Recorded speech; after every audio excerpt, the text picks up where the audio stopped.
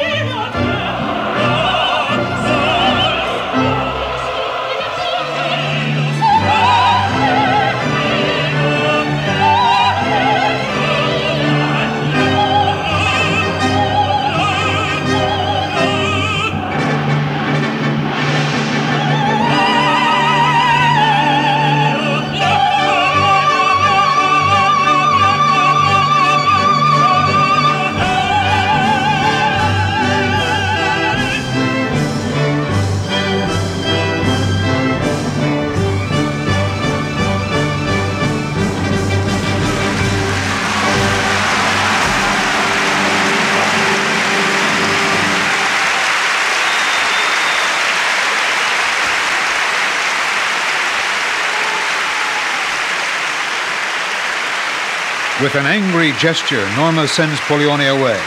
Adalgisa, begging forgiveness from the high priestess, falls to her knees as Pollione rushes out, vowing that the god of the Druids will be vanquished.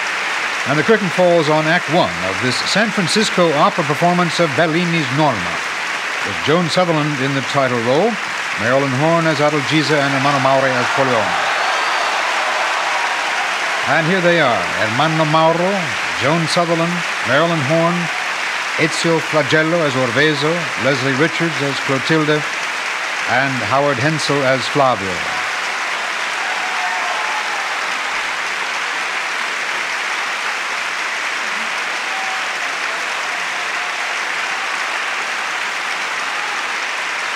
The opera that first brought fame to Joan Sutherland was Lucia di Lammermoor, beginning with the historic 1959 Covent Garden production. Ezio Flagello, Oroveso, Joan Sutherland, Norma, Marilyn Horne, Adalgisa, and Ermanno Mauro Pollione.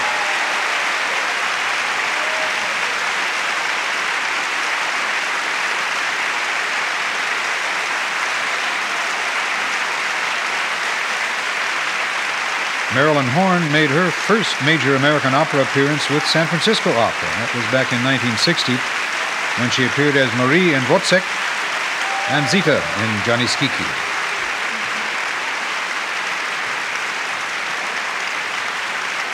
We've come to the first intermission, and in just a moment we'll hear our feature program with pianist Ivan Davis. So stay with us.